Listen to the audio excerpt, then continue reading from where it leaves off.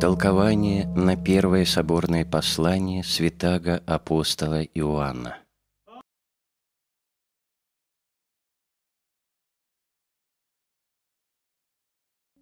Стихи 9-10. «Всякий, рожденный от Бога, не делает греха, потому что семя его пребывает в нем, и он не может грешить, потому что рожден от Бога. Дети Божии и дети дьявола узнаются так. Всякий, кто делает грех, потому самому, что грешит, есть от дьявола, и называется сыном дьявола, как блаженный Павел сказал Елиме, сын дьявола, перестанешь ли ты совращать с прямых путей Господних? Вспомним Деяния святых апостолов, главу 13, стих 10. Очевидно и то, что рожденный от Бога, как Сын Божий, не грешит, потому что семя его Божие, то есть или Дух, которого мы получили через дар, которого удостоились, и который, пребывая в нас, соделывает ум наш не допускающим греха, или же сам Христос, который, обитая в верующих, соделывает их сынами Божьими, как и сам Христос в семени Авраама есть сын Авраамов. Смотрим Евангелие от Матфея, главу 1, стих 1. «И в семени Авраама сказано, то есть во Христе, благословятся народы, Смотрим «Бытие», главу 12, стих 3, и послание святого апостола Павла к Галатам, главу 3, стих 16. Объяснение Златоуста. Всякий раз, когда мы грешим, мы рождаемся от дьявола, а всякий раз, когда совершаем добродетель, рождаемся от Бога, потому что семя Его пребывает в нас – Семенем называет Духа, которого мы получаем через крещение и который, пребывая в нас, делает ум наш не допускающим греха. Если же кто не родится от Бога, тот не получает Духа Святаго. Иное объяснение. Семя Божие и есть Христос, который, обитая в верующих, соделывает их сынами Божьими. Так в семени Авраама, которое есть Христос, благословляются все народы. Иначе семенем называет первое поколение рода начальника, отличающееся добродетелями. Родоначальник своими добродетелями как бы орошает свое племя.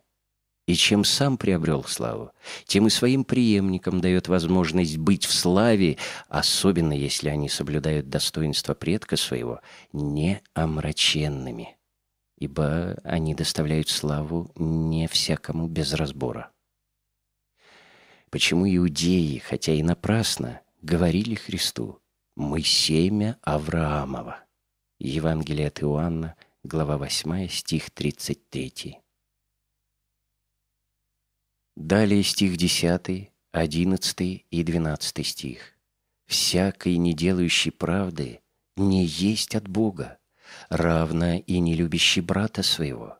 Ибо таково благовествование, которое вы слышали от начала, чтобы мы любили друг друга. Не так, как Каин, который был от лукавого и убил брата своего. А за что убил его? За то, что дела его были злы, а дела брата его праведны. Апостол примером подтверждает, сколь великое зло ненавидеть брата. Смотрите, говорит, вот Каин возненавидел брата и убил его, несмотря на то, что он родной брат его. Каин имел злые дела отца своего дьявола. Авель же, делая правду, был сыном в отношении к Богу. Здесь дьявол противополагается Богу, а злые дела — добрым. Посему-то Каин, противоположный брату, убил его. Таково объяснение по ходу речи, но блаженный Иоанн изменил этот порядок, всегда имея особое побуждение, ибо ему, после того, как упомянул о дьяволе и о том, что делающее зло становится детьми его, естественно было выставить в пример того, кто в начале мира поспешил сделаться сыном дьявола через злые дела. Стихи 13-18. «Не дивитесь, братья мои, если мир ненавидит вас. Мы знаем, что мы перешли из смерти в жизнь, потому что любим братьев.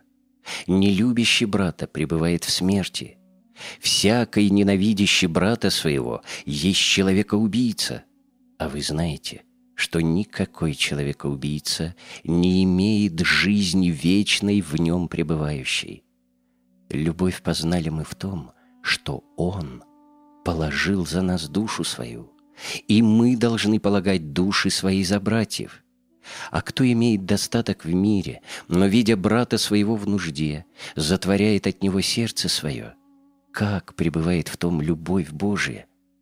Дети мои, станем любить не словом или языком, но делом и истиною.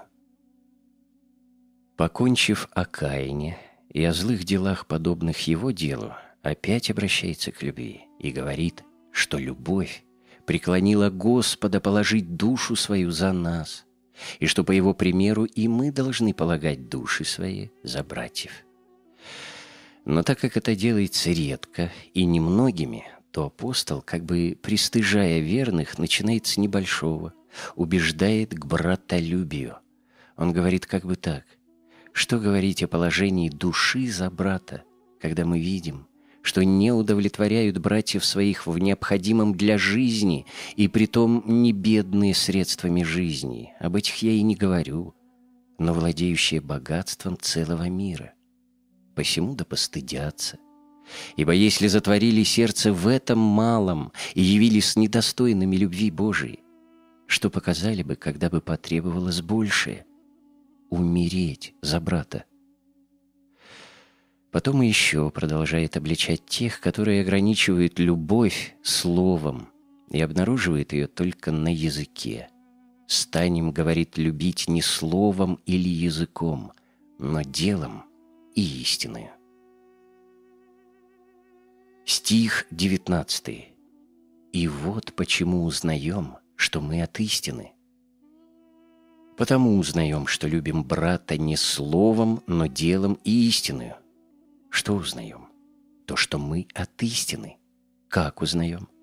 Так что говорящий одно, а делающий другое, не соглашающий дело со словом, есть лжец, что он не истинен. Далее стихи 19, 22 и успокаиваем пред Ним сердца наши. Ибо если сердце наше осуждает нас, то кальми паче Бог, потому что Бог больше сердца нашего и знает все. Возлюбленные, если сердце наше не осуждает нас, то мы имеем дерзновение к Богу, и чего не попросим, получим от Него, потому что соблюдаем заповеди Его и делаем благоугодное пред Ним. Это значит через истинность, а истинствовать мы будем тогда, когда словам нашим будут соответствовать дела, мы успокоим совесть свою. Ибо словом сердца он называет совесть. Как же успокоим? Поставив себя в такое положение, чтобы произносить нам слова пред свидетелем Богом, ибо это значит слова пред Ним. Если, говорит, не будем делать так, и совесть или сердце наше осуждает нас, то, очевидно, мы согрешаем. Если же мы во время греха не можем укрываться от совести своей, которая ограничена, как и человек существо ограниченное, то тем более не можем укрыться от Бога, беспредельного и вездесущего. Смысл этого изречения такой. Дети – не будем лжецами друг перед другом, любя одним только языком, но докажем любовь и делом. Поэтому узнаем, что мы от истины, то есть от Бога. И что говорим, будем говорить как в виду Бога. А кто, хотя бы он был бесстыдней бесов, позволит себе лгать пред свидетелем Богом? Если же не будем делать так, то тогда, когда говорим, что любим, сердце наше осуждает нас во лжи, и мы грешим. Как так? Да потому что думаем укрыться от вездесущего Бога. Посему, возлюбленные, настроим себя так, чтобы быть нам неосужденными пред самими собою. Будем истинствовать друг пред другом, и тогда получим дерзновение пред Богом. А при этом дерзновении, несомненно, получим все, что не попросим у Него. Почему? Потому что соблюдаем заповеди Его. Ибо кого просят, того весьма много преклоняет к выслушиванию благопокорность просителей. Только бы просили, не сомневаясь. А если мы соблюдаем заповеди Его и делаем угодное перед Ним, то и будем надеяться, что молитвы наши не будут напрасны, потому что при искреннем взаимном расположении двоих один обыкновенно действует немедленно на пользу другого. Какую же заповедь Его мы соблюли? Ту, которая повелевает нам «Да любите друг друга». Евангелие от Иоанна, глава 13, стих 34. Стихи 23-24. «А заповедь Его та, чтобы мы веровали во имя Сына Его Иисуса Христа и любили друг друга, как Он заповедал нам. И кто сохраняет заповеди Его, тот пребывает в Нем, и Он в том, а что Он пребывает в нас, узнаем по Духу, который Он дал нам. Так как мы имеем заповедь веровать во имя Иисуса Христа, Сына Его, и любить друг друга, и мы сделали это, то отсюда и узнаем, что благодать Духа Его, которого Он дал нам, утвердилась в нас. Нужно знать, что выражение «веровать во имя Господа нашего» употребляется во многих местах Писания. Что же означает имя? Конечно, не иное, что как волю Его, славу, честь. Например, в словах «Господи Боже наш, как величественно имя Твое по всей земле» Псалом 8 стих 1, оно означает славу и честь а в словах «покайтесь» и «докрестится каждый из вас во имя Господа Иисуса» вспомним Деяния святых апостолов, главу 2, стих 38, означает волю Его. Какая же воля Господа Иисуса Христа? Крестить все народы во имя Отца и Сына и Святаго Духа. Вспомним Евангелие от Матфея, главу 28, стих 19. Господь заповедал, чтобы мы любили друг друга с истинным расположением. Когда же? Когда сказал, как хотите, чтобы с вами поступали люди, так и вы поступайте с ними. Евангелие от Луки, глава 6, стих 31. Если мы любим, чтобы ближние наши имели к нам истинное и бесхитростное расположение, то и сами должны иметь к ним совершенно такое же расположение. А так как это заповедь Господня, то когда мы пребываем в Нем, тем более Он дарует нам самого себя, ибо Он не может отречься сам от себя, то есть нельзя допустить, что Он напрасно дает нам заповеди Свои и не оправдывает их прежде всех сам. Если же так, то когда мы исполняем заповеданное им без сомнения, и Он послушает нас в прошениях наших, и дарование Его будет твердо в нас. Целая мысль такова. Мы должны веровать во имя Сына Его Иисуса Христа и любить друг друга истинно, как Он заповедал. Ибо соблюдающий заповедь Его в нем пребывает, и Он в нем. А что Он пребывает в нас, это мы узнаем по духу или дарованию, которое Он дал нам. И если оно пребывает в нас ненарушимо, то без всякого противоречия даяние его будет неотъемлемо. Когда же оно пребывает ненарушимо? Когда мы из заповеданного им о любви ничего не нарушаем по нерадению своему.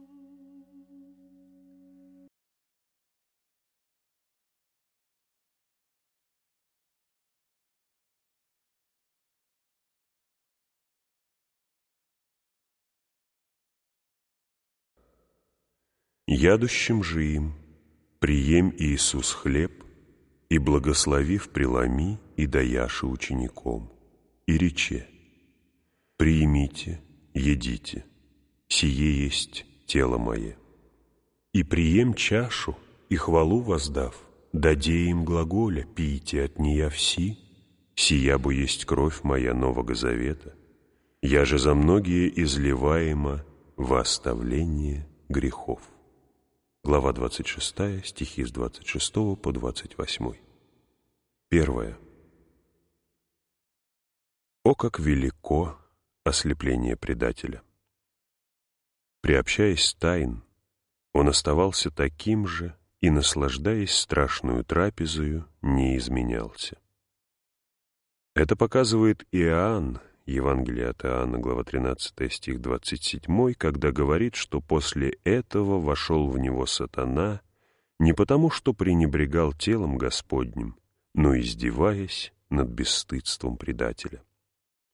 Грех его велик был в двояком отношении, и потому, что он с таким расположением приступил к тайнам, и потому, что приступивший не вразумился ни страхом, ни благодеянием, ни честью. Христос не препятствовал ему, хотя и знал все, чтобы ты познал, что Он не оставляет ничего, что служит к исправлению. Поэтому и прежде, и после этого непрестанно вразумлял и удерживал предателя и словами, и делами, и страхом, и угрозами, и честью, и услугами. Но ничто не предохранило его от жестокого недуга. Вот почему Христос, оставив, наконец, его, через тайны опять напоминает ученикам о своей смерти. И на вечере беседует о кресте, чтобы через частое предсказание сделать для них свое страдание удобоприемлемым. Действительно, если они после стольких событий и предсказаний смутились, то чего не потерпели бы, если бы ничего такого не услышали? И ядущим им хлеб преломи. Для чего Христос совершил это таинство во время Пасхи? для того, чтобы ты из всего познавал, что Он есть законодатель Ветхого Завета, и что написанное в этом завете служит прообразованием новозаветных событий. Поэтому-то Христос вместе с образом полагает и самую истину. Вечер же служил знаком полноты времен и того, что дела приходили уже к концу. И благодарит, научая нас, как должно совершать это таинство, показывая, что Он добровольно идет на страдания, наставляя нас переносить страдания с благодарностью и возбуждая в нас благие надежды.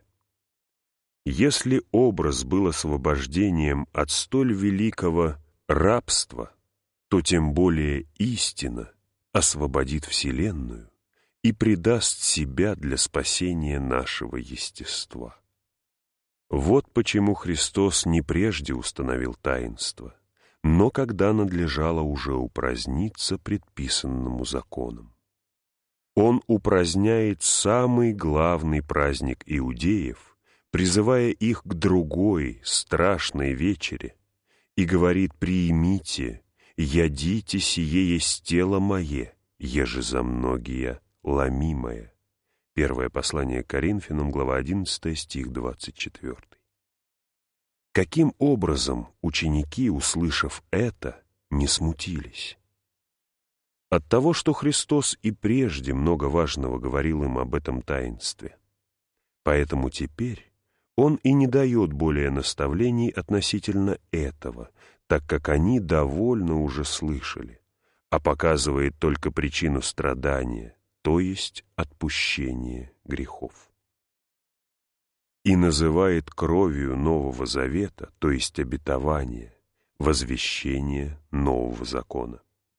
Это обещано было издревле и составляет Новый Завет. И как Ветхий Завет имел овнов и тельцов, так и Новый имеет кровь Господню.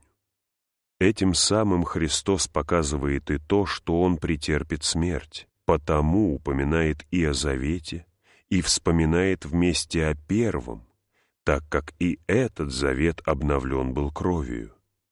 Далее опять говорит о причине своей смерти, «Я же за многие изливаемо во оставление грехов», и прибавляет, «Сие творите в мое воспоминание». Видишь ли, как Христос отклоняет и отвращает от иудейских обычаев? Как Пасху вы совершали, говорит он, в воспоминание чудес, бывших в Египте, так и это таинство совершайте в мое воспоминание. Кровь Ветхого Завета была изливаема во спасение первородных, а эта кровь изливается во оставление грехов всего мира. «Сия есть кровь моя», — говорит он, — «изливаема во оставление грехов». Это сказал он также и для того, чтобы показать, что страдание и крест — суть таинства, и этим опять утешить учеников.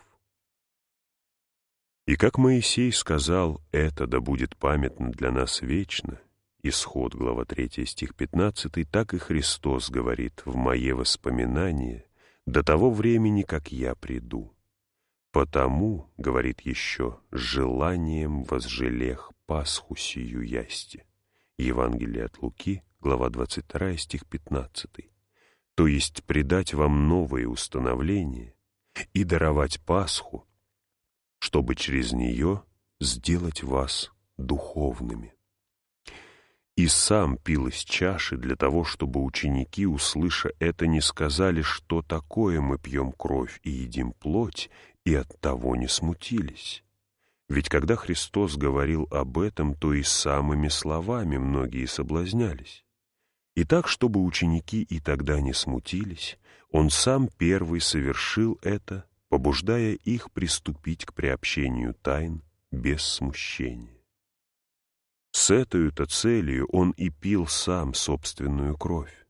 Что же, не должно ли, скажешь ты, совершать и древнее, и новое таинство? Ни в коем случае. Христос для того и сказал «сие творите», чтобы отклонить от древнего. Если новое таинство дарует оставление грехов, а оно действительно дарует, то древнее уже излишне.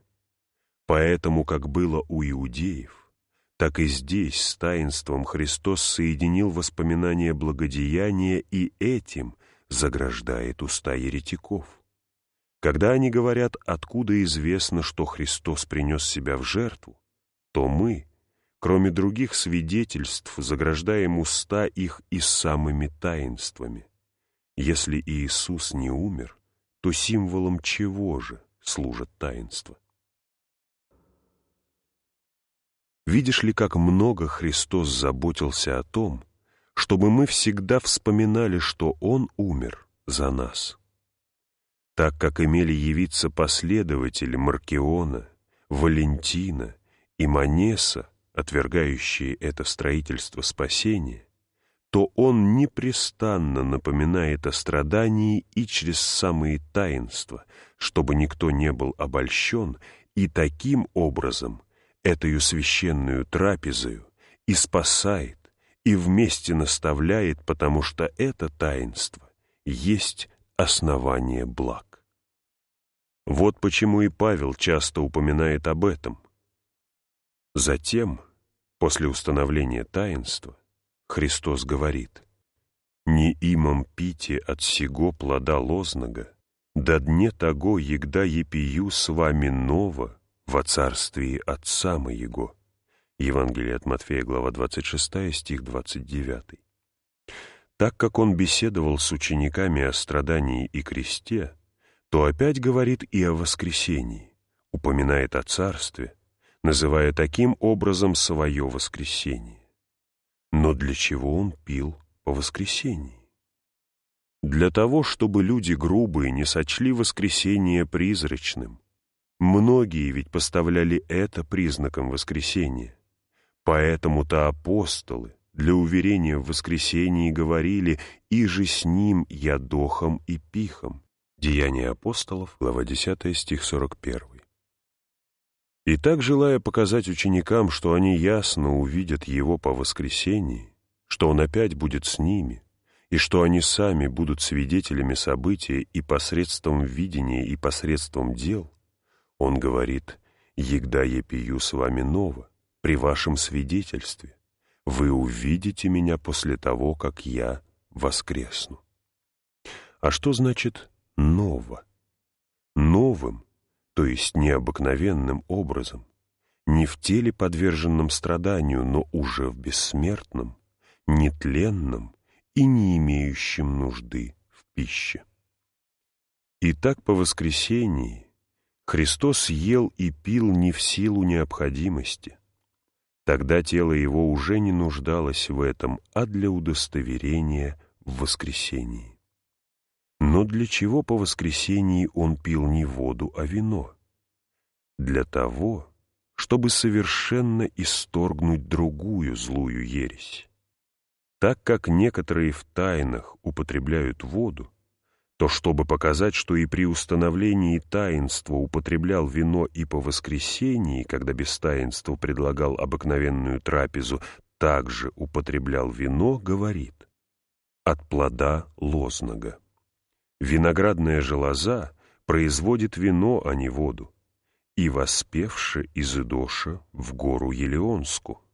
Евангелие от Матфея, глава 26, стих 30.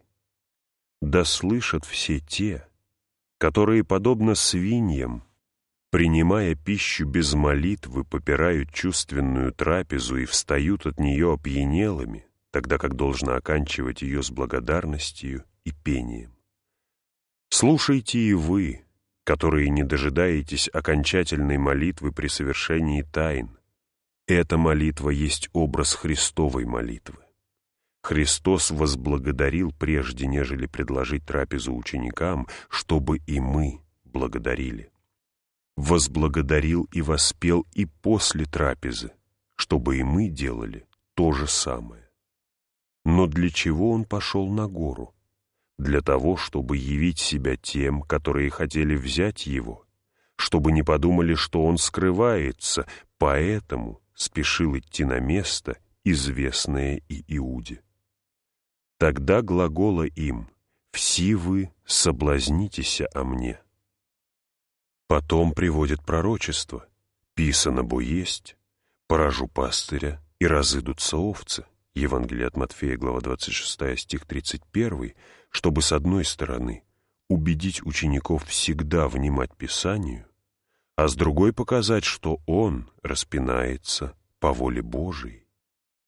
И чтобы из всего видно было, что он не противник Ветхому Завету и Богу в нем возвещаемому, что совершающееся есть дело смотрения Божие, и что все настоящие события издревле предвозвестили пророки, чтобы ученики, несомненно, надеялись на лучшее.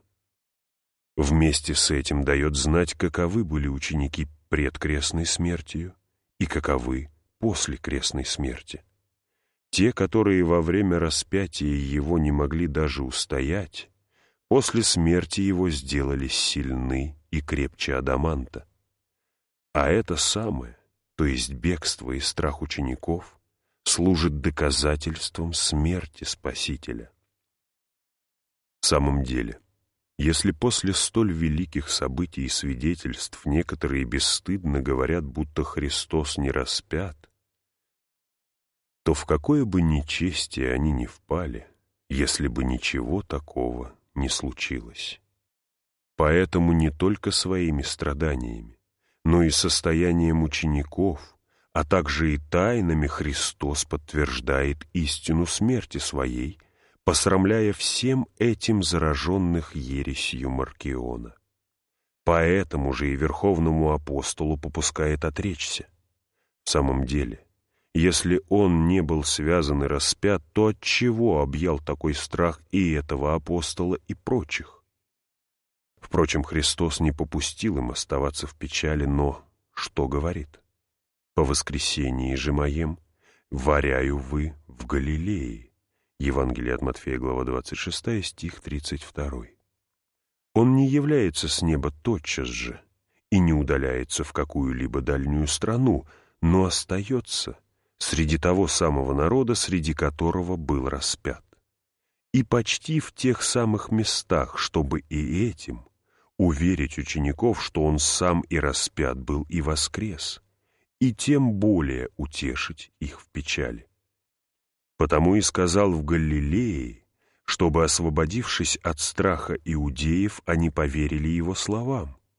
Потому же он и явился там.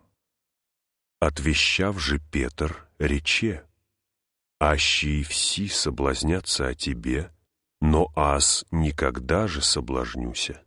Евангелие от Матфея, глава 26, стих 33. «Что ты говоришь, Петр?» Пророк сказал, разыдутся овцы. Христос подтвердил сказанное, а ты говоришь нет.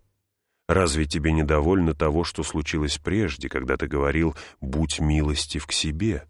Евангелие от Матфея, глава 16, стих 22, и был обличен.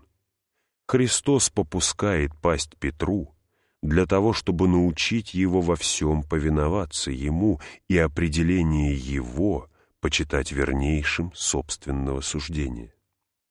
Да и прочие получили немало пользы от его отвержения, познавши немощь человеческую и истину Божию. Когда сам Бог предсказал что-нибудь, то не должно уже оспаривать этого и восставать против многих. «Хваление, — говорит апостол, — ты будешь иметь в себе, а не воинем». Послание к Галатам, глава 6, стих 4. «Надлежало бы молиться и говорить, помоги нам не разлучаться». А он надеется на самого себя и говорит, «Аще и все соблазнятся о тебе, но аз никогда же». То есть хотя бы все потерпели это, но я не потерплю, что мало-помалу приводило его к гордости. Желая удержать его от этого, Христос и попустил отвержение. Так как Петр не внимал словам ни Христа, ни пророка, хотя Христос для того и привел свидетельство пророка, чтобы ученики не противоречили, то он научается самыми делами. А что Христос попустил Петру отвергнуться для того, чтобы исправить в нем этот порог, послушай, что он говорит. «Аз же молихся о тебе, да не оскудеет вера твоя». Евангелие от Луки, глава 22, стих 32. Это сказал он для того, чтобы сильно тронуть его и показать, что его падение опаснее падения прочих и требует большей помощи. В самом деле здесь было два преступления. Во-первых, то, что он противоречил, во-вторых, то, что ставил себя выше других, или, лучше сказать, было и третье преступление, то, что он все приписывал самому себе. Итак, для уврачевания этого Христос и попустил падение, и потому, оставивши прочих, обращается к Петру. «Симоне», — говорит он, — «Симоне, се сатана просит вас, дабы сеял яко пшеницу». Евангелие от Луки, глава 22, стих 31, то есть возмущал, колебал, искушал. «Аз же молихся о тебе, да не оскудеет вера твоя». Но почему же, если сатана просил всех, Христос не сказал «молихся за всех»? Не очевидно ли, что и это имеет ту же цель, о которой я говорил выше, то есть, что Христос обращает слово свое к Петру, чтобы тронуть его и показать, что его падение опаснее падения прочих?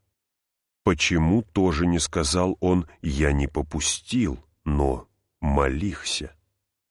Идя на страдания, он говорил смиренно, чтобы показать свое человечество. Тот, который создал церковь на исповедании Петра и так оградил ее, что бесчисленные опасности и смерти не одолеют ее, который дал ему ключи Царствия Небесного, вручил столь великую власть и для совершения этого не имел нужды в молитве, не сказал тогда молихся, но со властью сказал «Созижду церковь мою и дамте ключи Царствия Небесного». Евангелие от Матфея, глава 16, стихи 18 и 19, каким образом нуждался в молитве для утверждения колеблющейся души одного человека. Почему же сказал так? По той причине, о которой я говорил, и по причине немощи учеников своих, так как они еще не имели надлежащего о нем понятия. Как же Петр отрекся? Христос не сказал, чтобы ты не отрекся, но чтобы не оскудела вера, чтобы он не погиб совершенно. И это было делом попечения Христова. Действительно, безмерный страх, объявший Петра, все рассеял, а безмерным этот страх был потому, что Бог совершенно лишил его своей помощи. А лишил помощи потому, что в нем была сильна страсть гордости и противоречия. Итак, для совершенного истребления этой страсти Бог допустил столь сильному страху объять Петра.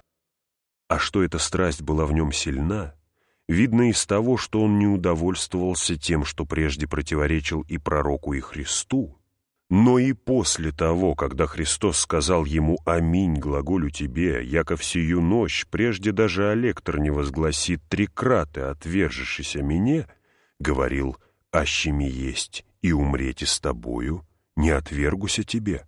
Евангелие от Матфея, глава 26, стихи 34 и 35. Лука же, Евангелие от Луки, глава 22, стихи 33 и 34, прибавляет, что чем более Христос опровергал, тем более Петр противоречил. Что значит это, Петр? Когда Христос говорил «Един от вас предаст мя», ты боялся, чтобы не быть предателем, и побуждал ученика спросить, хотя ничего подобного не сознавал в себе. А теперь, когда он ясно провозглашает и говорит «Все вы соблазнитеся», ты противоречишь, и не однажды, только а дважды и много раз. Так именно говорит Лука. От чего же это случилось с ним? От великой любви, от великой радости. Когда он освободился от того страха относительно предательства и узнал предателя, то говорил уже с дерзновением и, возвышая себя над другими, заявлял «Аще и все соблазнятся, но аз не соблазнюся». Зависело это отчасти и от честолюбия, так как на вечере ученики рассуждали о том, кто из них больше, так мучила их эта страсть. Вот почему Христос уничижил Петра. Не с тем, чтобы побудить его к отвержению, да не будет, но чтобы, оставив его лишенным помощи, показать слабость человеческой природы. Смотри, как после этого он сделался кроток, когда по воскресении сказал «Сей же что?» Евангелие от Иоанна, глава 21, стих 21, и был остановлен, то не осмелился уже противоречить, как здесь, но умолчал. Также и при Вознесении, когда услышал «Несть ваше разумете времена и лето», Деяния апостолов, глава 1 стих 7, опять молчал и не противоречил. И после этого, когда на горнице и при видении плащаницы услышал голос, говорящий ему «Я же Бог очисти, ты не скверни», Деяния апостолов, глава 10 стих 15, и еще не знал ясно, что значат эти слова, молчал и не спросил. Все это было следствием падения. Прежде этого Петр все приписывал себе, говоря «Аще и все соблазнятся, ас не соблазнюся, ащими есть с тобою и умрете, не отвергуся тебе». Тогда как надлежало бы сказать «Если получу от тебя помощь». Но после падения он говорит совершенно противное. «Что наны взираете, яко своею или силою, или благочестием сотворихом Его ходите?» Деяния апостолов, глава 3, стих 12. Отсюда мы научаемся той великой истине, что недостаточно бывает собственного старания человека, если он не получит высшей помощи, и наоборот что мы не получим никакой пользы от высшей помощи, если не будет у нас собственного старания. То и другое доказывают Иуда и Петр. Первый, получивший много помощи, не получил никакой пользы, потому что не захотел и не приложил собственного старания, а последний и при собственном старании пал, потому что не получил никакой помощи. Добродетель слагается из этих двух принадлежностей. Поэтому я умоляю, чтобы вы, предоставляя все на волю Божию, не предавались усыплению, и чтобы при собственном старании не думали, что вы все совершаете собственными трудами. Богу не угодно, чтобы мы были нерадивы, а потому Он не все сам совершает. Равно не угодно Ему и то, чтобы мы были самонадеянны, вследствие чего не все нам дал, но из того и другого отнявши вредное, оставил нам полезное. Поэтому же попустил пасть и верховному апостолу, чтобы сделать его кротким и возбудить к большей любви. Кому больше сказано оставиться, больше возлюбит. Евангелие от Луки, глава 7, стих 47. Итак, будем во всем повиноваться Богу, и ни в чем не будем противоречить, хотя бы слова Его казались противными нашим мыслям и взглядам. Но пусть управляет Слово Его нашими мыслями и взглядами. Таким же образом будем поступать и в таинствах, обращая внимание не на внешность только, но содержа в уме своем слова Христовы, Слово Его непреложно, а наше чувство легко обольщается. Первое никогда не погрешает, а последнее часто обманывается. Поэтому, когда Христос говорит «сие есть тело мое», то убедимся, будем верить и смотреть на это духовными очами. Христос не предал нам ничего чувственного, но все духовное, только в чувственных вещах. Так и в крещении. Через чувственную вещь, воду, сообщается дар, а духовное действие состоит в рождении и обновлении. Если бы ты был бестелесен, то Христос сообщил бы тебе эти дары бестелесно, но так как душа твоя соединена с телом, то духовное сообщает тебе через чувственное. Как многие ныне говорят, желал бы я видеть лицо Христа, образ, одежду, обувь. Вот, ты видишь его, прикасаешься к нему, вкушаешь его. Ты желаешь видеть одежды его, а он дает тебе самого себя и не только видеть, но и касаться, и вкушать, и принимать внутрь. И так никто не должен приступать с небрежением, никто с малодушием, но все с пламенную любовью, все с горячим усердием и бодростью. Если иудеи ели агнца с поспешностью, стоя и имея сапоги на ногах и жезлы в руках, то гораздо более тебе должно бодрствовать. Они готовились идти в Палестину, а потому и имели вид путешественников. Ты же готовишься идти на небо.